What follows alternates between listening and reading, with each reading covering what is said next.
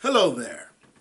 My name is Minister Barton Aaron Porter, and today we're going to continue our study of the great book of Jonah with the third chapter. Now, I'm going to be using the good old King James Version of the Bible as I always do. So I encourage you to get your Bibles out and to study along with me. In our last Bible study, we learned in the second chapter of Jonah that confession of sin always brings God's mercy. So, with that, we're going to dive straight into this third chapter of the great book of Jonah with the very first verse. It says, And the word of the Lord came unto Jonah the second time, saying, Verse 2 Arise, go unto Nineveh, that great city, and preach unto it the preaching that I bid thee. So God says, Go down there and do what I told you to do the first time. Verse 3 So Jonah arose and went unto Nineveh according to the word of the Lord. Now, Nineveh was an exceeding great city of three days' journey. That's verse 3. Verse 4 says, And Jonah began to enter into the city a day's journey, and he cried and said, Yet 40 days, and Nineveh shall be overthrown. So when he got there, he went in and he told the people, in 40 days, this city is going to be destroyed. Verse 5. So the people of Nineveh believed God and proclaimed the fast and put on sackcloth from the greatest of them even to the least of them. Uh, verse 6 For the word came unto the king of Nineveh, and he arose from his throne, and he, and he laid his robe from him, and covered him with sackcloth, and sat in ashes. Now, this was the custom of the people who were living in ancient time when they were showing humility and repentance toward God. They would put on a certain cloth called sackcloth, and they would scatter ashes on their head. Uh, verse 7 says, And he, that's the king of Nineveh, who put, put, put aside his uh, robe, and he put on sackcloth too, and scattered ashes. And he caused it to be proclaimed and published through Nineveh by the decree of the king and his nobles, saying, Let neither man nor beast, herd nor flock taste anything. Let them not feed, nor drink water. So it was a food and water fast. Verse 8. But let man and beast be let man and beast be covered with sackcloth and cry mightily unto God.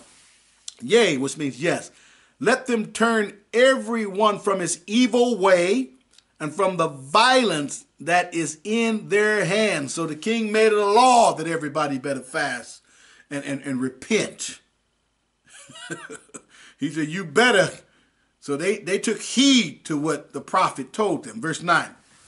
The king said, Who can tell if God will turn and repent and turn away from his fierce anger that we perish not? So here is a whole nation taking heed to the call. And so there's a lesson there for us.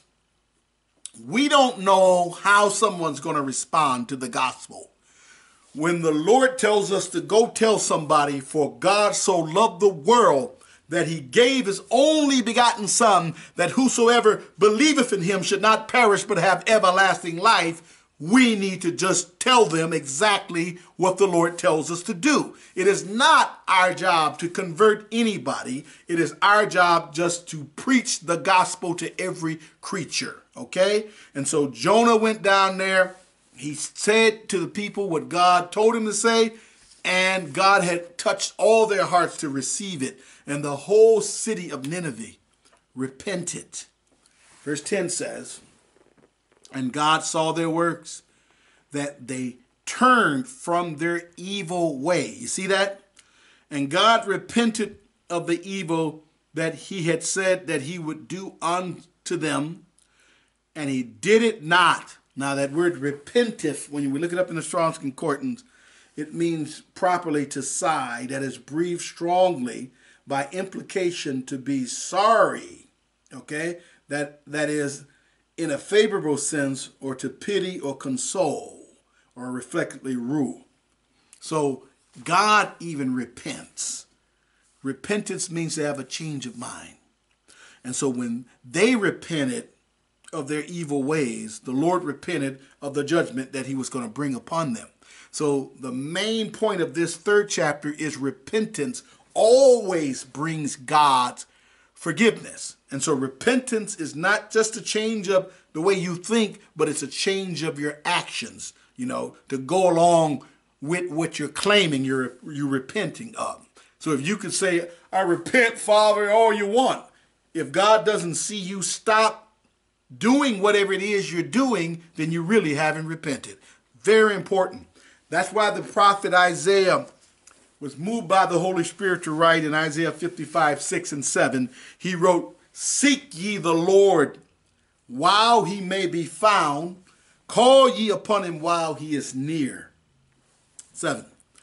Let the wicked forsake his way, and the unrighteous man his thoughts, and let him return unto the Lord, and he will have mercy upon him, and to our God, for he will abundantly pardon. So it's very important that you and I make sure we share the gospel of Jesus Christ, that God wants to save everybody. And if they repent and accept Jesus as their Savior, He will save them. Okay? That's why I love the Bible, because the Bible gives us what we need to understand about the character of God. And so even the Old Testament books are very beneficial to us who are living today. That's why Paul wrote in 1 Corinthians 10 11, Now all these things happen unto them for ensamples, which means examples, and they are written for our admonition, which means warning, upon whom the ends of the world are come. So don't ever think any part of the Holy Bible is useless. No, it's all inspired by God, and we can learn something from every part of it, okay? Paul also wrote in Romans 15, verse 4 For whatsoever things were written aforetime were written for our learning, that we through patience and comforts of the of the scriptures might have hope. You see that? So the main point of this third chapter again is repentance always brings God's forgiveness. Now, if this particular Bible study has been a blessing to you, I encourage you to go to patreon.com slash barton underscore porter and make a financial pledge to support this ministry of whatever you can afford. Okay? Whatever God puts upon your heart, make that financial pledge because if you do, you will be a tremendous blessing to this minister and his ministry. And you will be helping me to continue to produce these Bible studies and spreading, spreading the true teachings of Almighty God all throughout the world. So, until next time, this is Minister Barton Aaron Porter saying, May the good Lord continue to bless you and keep you all the days of your life. And be sure not to miss the next Bible study when we go into the fourth and final chapter of this great book of Jonah. God bless you and goodbye.